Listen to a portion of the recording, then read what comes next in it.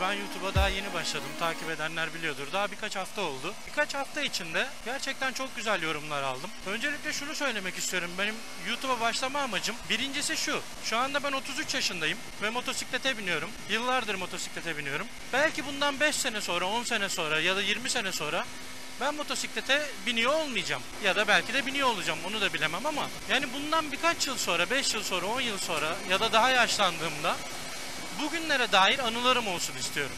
Bu anıları biriktirmem için de video çekmem gerekiyor. Ama bu videoları kaydedip kendi bilgisayarımda depolamam için ciddi anlamda çok fazla hard diske ihtiyacım var. Yani ortalama bir video 10 GB desek 10 tane videoda 100 GB yapar. Terabaytlarca benim hard disk almam gerekiyor. Ben de dedim bari YouTube'a yükleyeyim. Hem kendime bir arşiv biriktirmiş, anı biriktirmiş olurum.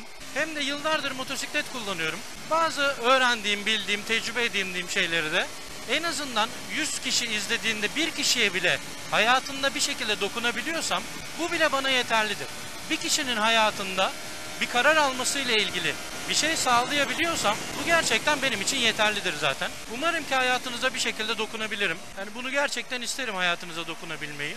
Şimdi bugün anlatmak istediğim bir konu var. Aslında ben bu konuda hani saatlerce konuşabilirim. Belki günlerce bile konuşabilirim. Çünkü gerçekten çok takıntılı olduğum bir konu. İlk defa motor alacak veya ilk defa araba alacak özellikle genç arkadaşlar veya ikinci el alacak olan kişiler yani tabiri caizse hani yanlış olarak algılamayın ama neden bu kadar korkaklar ben bunu anlayamıyorum. Geçenlerde bir işte gene bir YouTube'daki bir videonun altında bir oto ekspertiz firmasının YouTube kanalını izliyorum. İşte sıkıntılı arabaları paylaşıyor, bilgi veriyor. O da kendine göre tabii ki güzel şeyler yapıyor.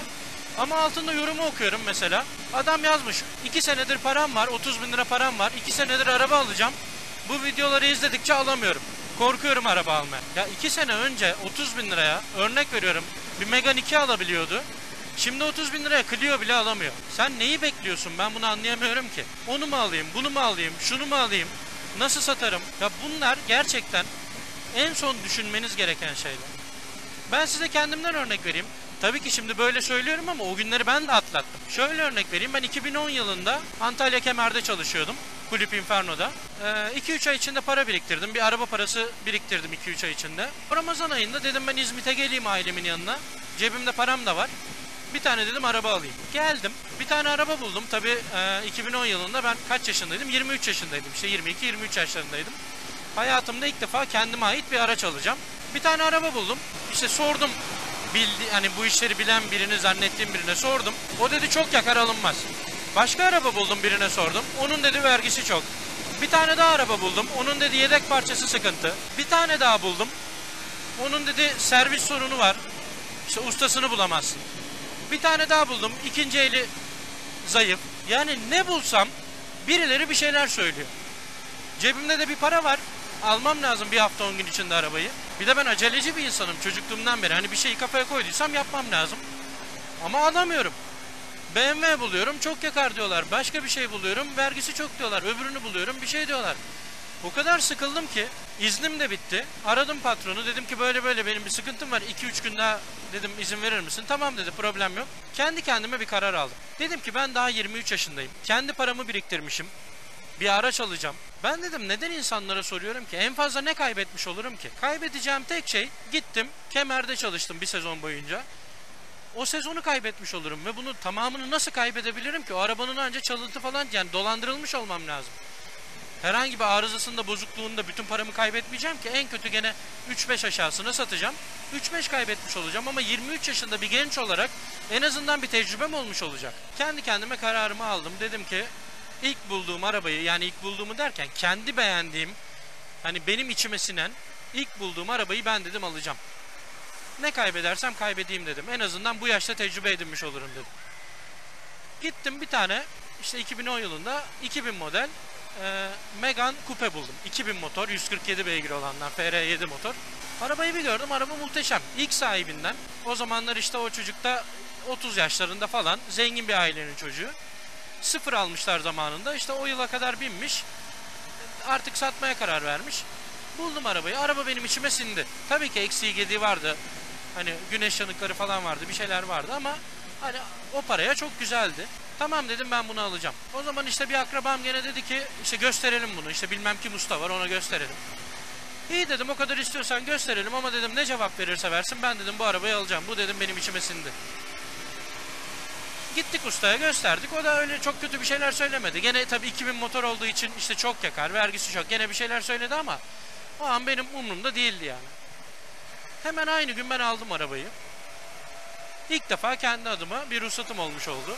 Kendi aracım olmuş oldu. Hani ailemin doğduğumdan beri araçları var ama benim kendi şahsıma ait ilk defa bir aracım oldu. Ben o arabayı aldım ortalama bir sene, bir buçuk sene. Ufak tefek sıkıntılar tabii ki oldu. Onun haricinde öyle çok büyük sıkıntılar olmadan ben o arabayı kullandım. Tabii o arabayla sanayiye gittim geldim. Biraz daha işleri öğrendim.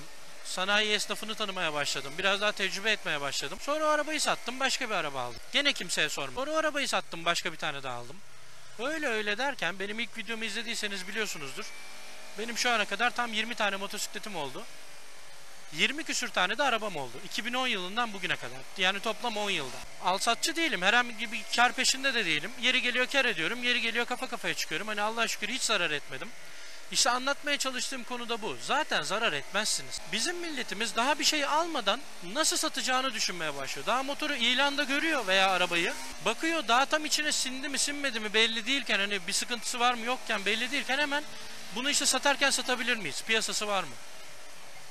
Ya önce bir al, önce bir kullan. Merak etme illa ki onu birine satarsın.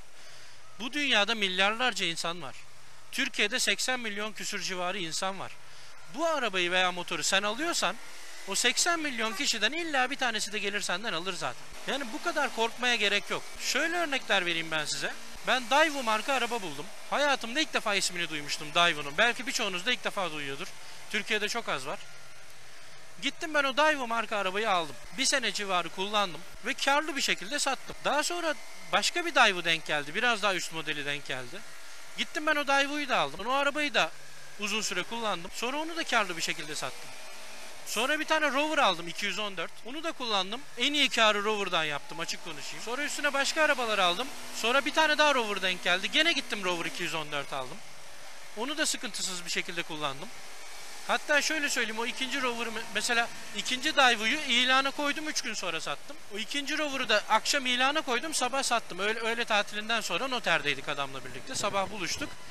Noterin açılmasını bekledik. Öyle tatili geçti.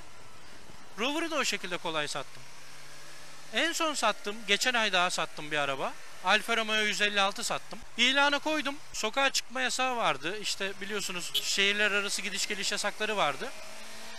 Çocukla konuştuk. Abi dedi bu şey, çocuk İstanbul'daydı.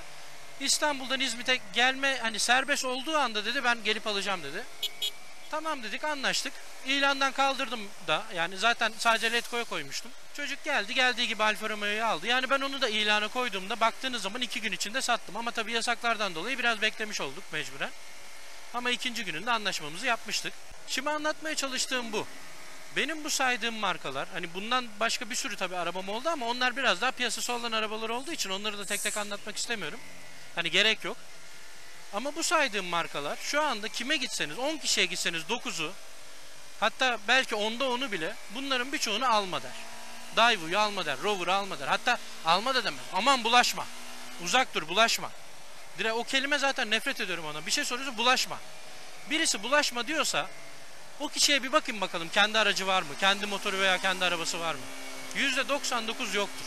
Veya varsa o da bir tane almıştır. Hayatında bir tane araç almıştır. Bir şey alacaksanız araba veya motor fark etmez. Hani diyorlar ya işte sen tecrübesizsin işte git ustaya göster, ekspertize sok, şunu yap, bunu yap, onu yap. Ya o kadar şeyler yapmanıza gerek yok. Ben size örnek vereyim. Mesela hani adamı da tanımam etmem reklamı gibi olmasın ama Tarcanlar Oto Ekspertiz var mesela İzmit'te. YouTube kanalı var. Adam öyle videolar koyuyor ki arabaya iki tane ekspertiz bakmış hiçbir hata bulamamış. İşte kendileri bakmış hiçbir sıkıntı görememişler. Tarcanlar Oto Ekspertiz bir bakıyor araba ortadan ikiye ekli. Tavanı değişmiş. Airbagleri patlak. E şimdi ne oldu? O, o kadar takıntılı olup aylarca araba arayan soran işte korkan çekinen adam bu arabayı almış oldu. Satarken diğer alıcı yani yeni satacağı kişi tarcanlara getirdi. Adamın elinde patladı araba. E şimdi ne oldu? Yani anlatmaya çalıştığım bu. Siz ne kadar uğraşırsanız uğraşın ikinci el aldığınız sürece %100 hiçbir zaman emin olamazsınız. Anca nasıl olur? Hani bir çok yakınınız vardır. Sıfır almıştır. Mesela ben KTM 390'ı öyle aldım. Geçen sene. Bildiğim bir motordu. Geçmişini A'dan Z'ye bildiğim bir motordu. Tanıdığım insandı.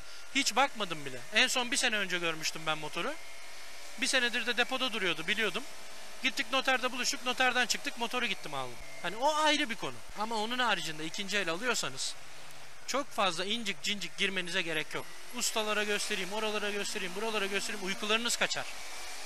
Bir de bu kadar uğraştıktan sonra, stres yaptıktan sonra, aldıktan sonra bir sıkıntısını öğrenirseniz, bir şey olursa daha çok bunalıma girersiniz. Benim gençlere özellikle tavsiyem, eğer alacaksanız gidin, bakın, içinize sinsin. Zaten YouTube'da yüzlerce, binlerce video var. Motor alırken nelere bakmak gerektiğini. Gidin şasisini zaten gözünüz görüyor. Yani bunu usta da görüyor, siz de görüyorsunuz. Kaynak var mı yok mu? Siz 18-20 yaşında olsanız dahi Şimdi şurada bir tane demir var. O demirde kaynak var mı yok mu? Düz mü gidiyor? Kaynak işlemi var mı? Boya var mı? Zaten bunu hani nasıl söyleyeyim böyle zeka geriliğiniz yoksa, standart bir zekanız varsa zaten bunu anlarsınız. İlla ki gidip sanayide çalışmanıza, yıllarınızı geçirmenize gerek yok bunun için. Motorda gidin motoru çalıştırın, rölantide çalışsın. Eğilin şöyle motorun yanına kulağınızı koyun. 18-20 yaşındaysanız illa ki en azından bir okul okumuşsunuzdur. Bir müzik dersiniz vardır. Bir kulağınız melodilere en azından yatkındır. Hani bir müziğin bir ritmi vardır değil mi? O ritimde gider anlarsınız. Motorun da bir ritmi var. Rölantide durduğu zaman bakın bakalım o ritim doğru gidiyor mu? Böyle iniyor çıkıyor mu? Stabil mi gidiyor? Hani onu kendiniz dinleyebilirsiniz. Dinleyin, bakın motoruna. Eğer bundan da bir şüphe duymuyorsanız alın geçin arkadaşlar. Size masraf çıkarsın. Bu kadar korkmayın bu masraflardan. Zaten piyasalar aldı başını gidiyor biliyorsunuz. Siz şimdi bugün 10 bin liraya aldığınız bir motoru 2 bin lirada masraf yaparsanız 12 bin liraya gelirse size bir sene binerseniz zaten o motorun piyasası yükselecek. Siz gene 12'den daha fazlaya veya en kötü ihtimal gene 12'ye satacaksınız. İlla ki her aldığınız maldan çok fazla kar yapmak alsatçı değiliz ki biz veya galerici değiliz ki biz binmek için alıyoruz bu araçları.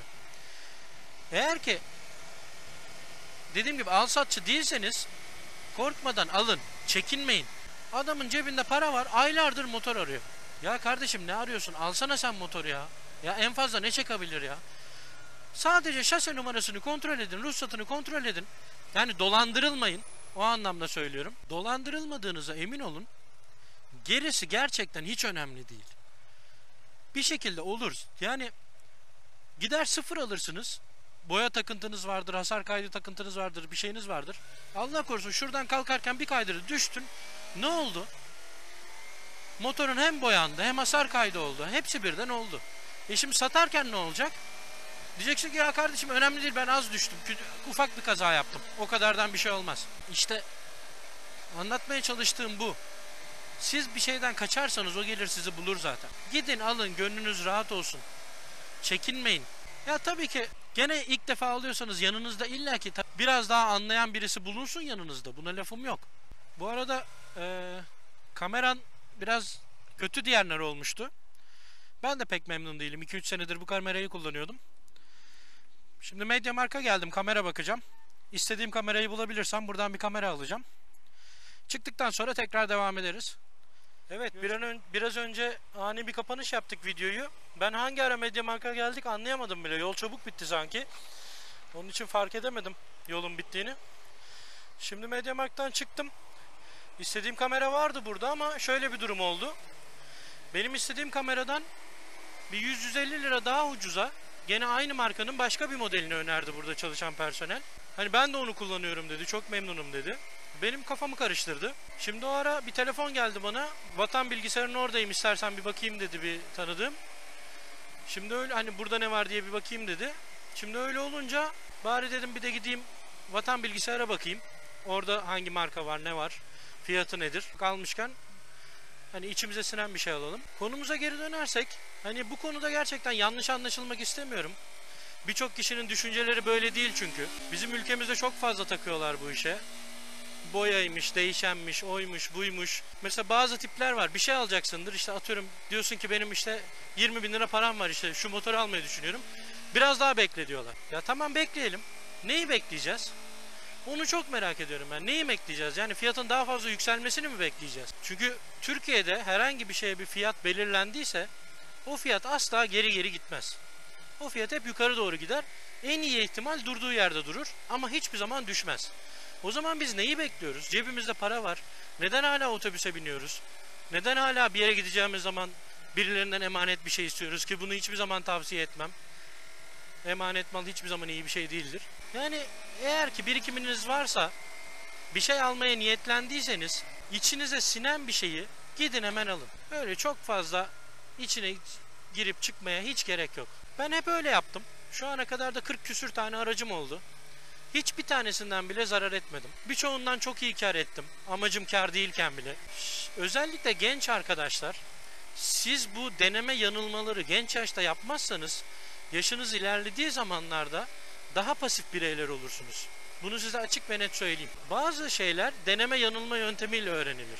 İstediğiniz kadar okula gidin, istediğiniz kadar eğitim alın, istediğiniz kadar aileniz sizi yetiştirsin. Bazı konular vardır ki onlar sadece yaşayarak öğrenilir. Ticaret de bunlardan bir tanesidir. Adı üstünde ticaret bir şeyi alıp satmak. Yeri gelecek bir şeyden 3 katı kar edeceksin. Yeri gelecek kafa kafaya çıkacaksın. Yeri gelecek birazcık zarar edeceksin. Bunları göze almak zorundasınız. Bu riskleri göze almak zorundasınız. Ben aldım. Hiçbir zaman da pişman olmadım. Bundan sonra da almaya devam edeceğim. Size de tavsiyem budur. Bir şey alacağınız zaman sormayın arkadaşlar. Yani herkese sormayın. Hani gerçekten böyle alım satım yapmış birisi, daha önce birkaç motoru, birkaç arabası olmuş birisi, gerçekten güvendiğiniz, inandığınız birisi bir kişi belirleyin ve hep bir kişiye sorun. Çünkü hani zevkler ve renkler, zevkler ve renkler tartışılmaz denildiği gibi bu işlerde de herkesin fikri farklı olacak. Bana sorarsan atıyorum ben dedim ki siyahı güzel. Ona sorarsın kırmızısı güzel der. Öbürüne sorarsın yeşili güzel der. Bana sorarsan atıyorum kilometreye takma derim. Öbürüne sorarsan kilometre çok önemli der. Herkes farklı bir şey söyler. Kafanız iyice karışır ve alamazsınız. Bir kişi belirleyin veya kendinize güveniniz varsa maddi olarak çok büyük bir şey kaybedeceğinizi düşünmüyorsanız kimseye söylemeyin. Sürpriz yapın. Ben hep öyle yaptım. Ben sabah evden çıktım, akşam dönerken yeni bir araçla döndüm. Atıyorum arabam varsa değiştirdim döndüm, motorum varsa değiştirdim döndüm. Veya sattım yürüye yürüye döndüm. Veya o an aracım yoksa daha önceden satmışsam bir şey aldım döndüm. Evdekilere de sürpriz yaptım. Kimseye söylemedim. Şöyle oldu birkaç tane, mesela arabada hiç olmadı, hiç göstermedim hiçbir zaman ustaya ama e, yanlış hatırlamıyorsam iki kere olması lazım. İki kere motor alacağım zaman ustaya gösterdim. O da şöyle oldu. Ben bir şey alacağım zaman ilk önce buluşma noktasında mesela şurada buluşacağız adamla değil mi? Opet'in otoparkında buluşacağız. Ben daha uzaktan yaklaşırken öncelikle satıcı olan adama bakıyorum. Adamın duruşu, tipi, giyinişi hani ön yargı olarak düşünmeyin bunu. Bu tamamen tecrübe, insanları okumaktır bu. Duruşu, hali, havrı, tavrı nasıl gelmiş, nasıl duruyor? Öncelikle adama bakıyorum. Adamla biraz sohbet ettikten sonra en az bir 3-5 dakika sohbet ettikten sonra araca yöneliyorum. Çünkü zaten satıcı aracı kendisi belli eder. Bu benim başıma çok geldi. Araba pazarına gidiyorum mesela araba almaya. Birisi denk geliyor ya hani tabiri caizse götü başı ayrı oynuyor. Ulan diyorum bu var ya çarpacak bizi şimdi. Yani beni çarpamaz orada ama yani kandıramaz ama. Beni diyorum kaç, kaçalım buradan hemen kaçmam lazım. Yani ikna edecek çünkü beni. Adam belli gözleri fıldır fıldır dönüyor. Ama bir denk geliyor. Adam sakin adam. Bak kardeşim araba orada diyor. Baktır ettir diyor. Ben buradayım diyor. Hissettiriyor kendini. Şimdi motorlarda da şöyle oldu. Bir tane GSX-R 1000 vardı. İstanbul'da. Bende de o dönem bir araba vardı. Çocuk dedi ki ben galericiyim. Motor bana takasla geldi. Aynı zamanda motora da biniyorum ama hani binlik binmiyorum normalde. Ben dedi galericiyim. Takasla geldi bu motor bize. İşte araba bizim daha çok işimize gelir. Tamam. Ben dedim geliyorum o zaman. Bindim arabaya gittim İstanbul'a. İşte anlaşırsak arabayı bırakacağım, motoru alacağım. Gerçi şöyle bir şey var. Akşam saati gittim işlerden dolayı. Hani anlaşırsak bir gün sonra randevulaşacağız. Ben sadece bakmaya, o da benim aracımı görsün diye gittim. Şimdi gittim. Çocuk benim arabayı daha gördü. Dedi tamam benim için tamam dedi. Sen bak motora okeyse dedi hemen anlaşalım. Şimdi birinci şüphe duyma noktanız bu. Ha, bu adam bu araba, motoru elden yani insan arabaya hiç mi bakmaz? Motora baktım. Şimdi ben motordan anlarım ciddi anlamda hani güvenirim kendime. Bir ustanın baktığı kadar bakarım ama hayatımda ilk defa o gün oldu işte. İlk defa bir motora emin olamadım. Ya çünkü motor temiz duruyor. Adamın böyle bir hali havrı bir başka. Gözü ayrı dönüyor. Konuşması bir değişik. Motorda da şimdi öyle bir işçilik yapmışlar ki motor hani mesela arka şasenin arka tarafında bir yerde bir yer böyle kaynaklı gibi duruyor ama emin de olamıyorum. Bir de akşam vakti. İstiyorum da bir yandan o motoru. Hani C6 bin almak istiyorum o dönem. Her neyse ben dedim ki buna bak kardeşim sen dedim tamam arabayı okey diyorsun da ben motora dedim %100 emin olamadım. Ben dedim bak kalktım geldim buraya kadar. Sen dedim motoruna güveniyorsan yarın dedim gel İzmit'e. Benim orada dedim bir ustam var. Bir dedim baksın üstün körü hani dedim öyle incik boncağı takmam dedim. Hani seni buradan oraya getirip dedim. Yok işte balatası eskiymiş yok ya değişmemiş. Yok bilmem neymiş lastiği kötüymüş. Hani böyle dedim ufak tefek şeyler yüzünden dedim iptal etmeyeceğim. Bunu dedim garantisini veriyorum. Ama dedim hani şasede bir şey çıkar, mekaniğinde benim fark edemediğim bir şey çıkar dedim. O zaman dedim iptal ederiz açık ve net konuşayım. Tamam dedi ben gelirim yarın.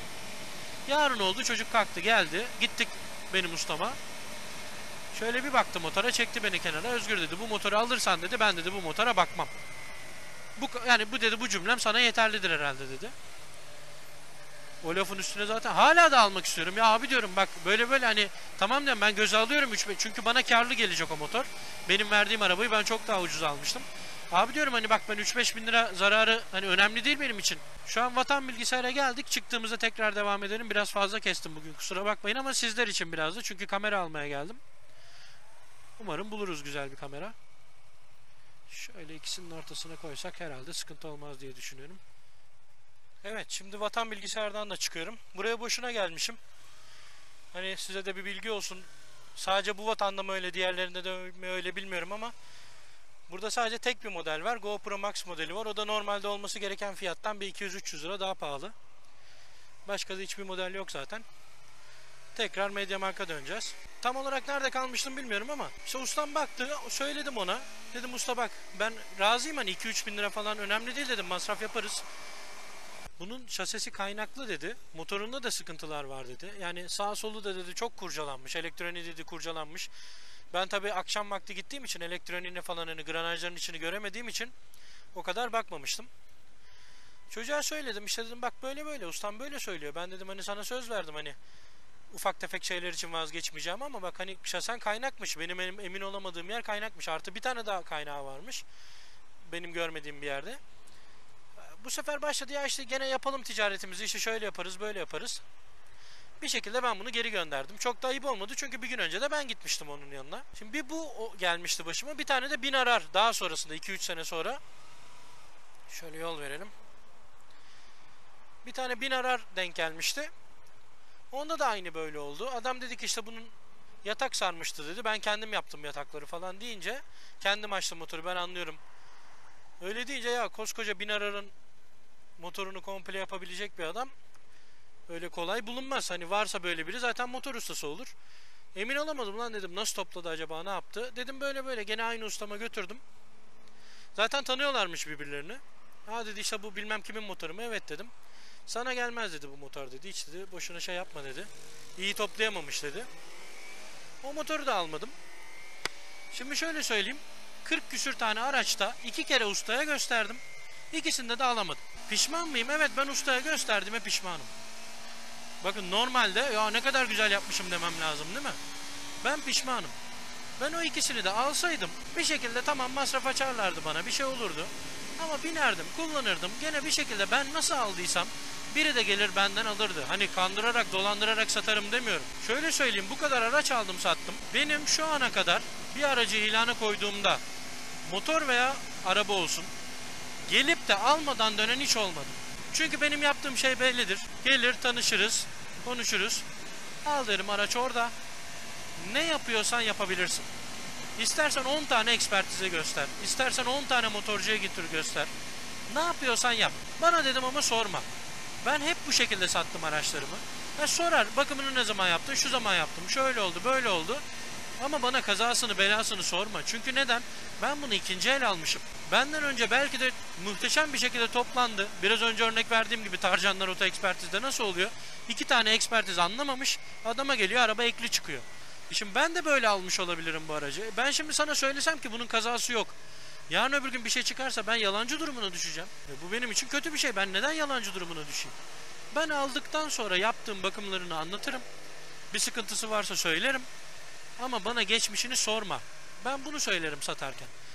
Ve bu dürüstlüğümden dolayı da ve de hani güzel araç alıp sattığım için de hiç boş dönen olmadı. Hep alıp döndüler. Siz de böyle yapın. Çok da fazla uzatmak istemiyorum. Çok fazla takmayın arkadaşlar. O kilometrelere falan zaten şu ekranda yazana bakmayın. Ben dediğim gibi bu kadar araç sattım. Bunların %80'i ilanlara tekrar düştü. Tabii ki doğal olarak yani alan adam ömür boyu binmeyecek. Ama o %80 ilana düşen araçların da en az yarısı Hani buna inanmıyorlar ama bende kayıtları da var hepsinin. Hep ekran görüntüleri falan aldım. Bunların yarısının da kilometreleri hep yarı yarıya düşmüştü. Arabalarda da motorda da. Mesela en son Peugeot 206 satmıştım. Ablam kullanıyordu onu, onu almıştım işe gidip geliyordu. Ben arabayı 260 binde sattım. Ben aldığımda ruhsatın içinden çıkan muayene kağıdında kilometre düşürülmüş yazıyordu. Yani bana satan kişi zaten kilometreyi düşürmüş. Öyle satmış. Ben aldım. Daha sonra ben de muayeneye girdim. Benim girdiğim muayene de tekrar hafif kusur olarak kilometre düşürülmüştü yaz, yazıyordu. Yani adam muayeneye sokmadan önce zaten düşürmüş. Muayeneden sonra bana satarken bir kere daha düşürmüş. Ben sattığımda ve hala 260 bindeydi. Yani bu arabanın en iyi ihtimal 500 bin kilometresi var. Ama ben ilanda gördüğümde araba 176 binde miydi? 186 binde mi neydi? Yani kilometreye de o kadar takılmanıza gerek yok. İşin aslı bu. Çok fazla şey yapmayın. Şimdi buraya tekrar geldik. Bu sefer inşallah inşallah boşa gelmemişizdir. Bu sefer de stokta yok demesin de. Hadi görüşürüz. Evet bugün işler, işlerimiz istediğimiz gibi gitmiyor. İkinci kez Mediamarkt'a geldim. Bu sefer de stoğu yokmuş. Demin iki tane gözüküyor demişti. Meğersem o iki tanenin bir tanesi teşhir malıymış. Diğeri de servise gidip gelmiş. Onların satışı yokmuş. Ben hani teşhir malı da olsa belki daha indirimli falan alırız diye düşünüyordum. Çünkü teşhiri de öyle bir yapmışlar ki yerinden bile çıkmıyor yani öyle koymuşlar. Telefon gibi değil hani telefonlarda çekiyorsunuz kabloyla geliyor falan ya. Bunda öyle değil. Teşhir de tertemiz. Ama satmadı, vermedi. E, Cuma günü anca getiririm falan dedi. Öyle olunca çıktım ben. Başka bir marka gene önerdi. Onu da istemedim. Biraz daha ucuzdu ama sonuçta istemediğimiz malzemeyi almaya gerek yok. Ucuz da olsa. Ya bugünkü videom hiç hayal ettiğim gibi olmadı. Normalde bu konu benim için önemli bir konuydu ve hani güzel bilgi verebileceğimi düşündüğüm bir konuydu. Tecrübelerimden belki bazılarınız yararlanabilirsiniz diye düşünüyordum. Ama işte bu kamerayla uğraşma işi işte bir oraya gittik bir oraya gittik benim de biraz da kafam da karıştı. Tam istediğim gibi anlatamamış olabilirim. Dediğim gibi çok fazla takıntılı olmayın. Ben biraz önce kilometre konusunu söylüyordum mesela. Adam mesela aldı arabayı 180 binde diye işte küsuratını bilmiyorum. E ne oldu adama 500 binde arabayı çakmış oldular. Yani çok takarsanız zaten başınıza gelir. Şimdi o adam çok üzüldü ama ben o arabayı aldığımda gene hiç bakmamıştım. Ve ben o arabayı ablam iki buçuk sene kullandı o arabayı. E tabii ki masrafları oldu, bakımları oldu. Ama zaten şu gördüğünüz arabaların %90'ının hani bu yeni modelleri söylemiyorum eski modellerde. Zaten %90'ının kilometreleri falan orijinal değil. Buna emin olabilirsiniz. O kilometre kayıtları bildiğim kadarıyla 2013'ten beri zaten kayıt altında. Ondan öncesi zaten yok. E, Benim bahsettiğim Peugeot 206 2002 modeldi. Şimdi 2002'den 2013'e kadar 11 yıl var arada. 11 yılda o arabanın başından ne geçmiş zaten bilmiyoruz ki. Hasar kaydı da 2005 diye biliyorum. 2005 yılından sonrası tutuluyor. E 2002 model araba belki ilk, ilk senesinde belki kaza yaptı. Neler yapmış olabilir? Belli değil ki hasar kaydı. Hasar kaydı konusu zaten başlı başına bambaşka bir konu. Ona gene bir video yapacağım. Hasar kaydı konusunda çok yanlış biliniyor birçok şey. Hani bir ön bilgi vereyim. Hani bu tutar yazmayan hasar kayıtları var ya. Hani yok gözüyle bakılan. Asıl tehlikeli hasar kaydı o. O tutar yaz- yazmayanlar asıl tehlikeli olanlar. Tutar yazanlarda problem yok. Bırakın 5000 lira yazsın problem yok. Tutar yazmıyorsa problem var. Bu da bir dahaki videomuzun konusu olsun. Hani bu sadece ön bilgi olsun. Şimdilik hoşça kalın diyeyim. Görüşmek üzere.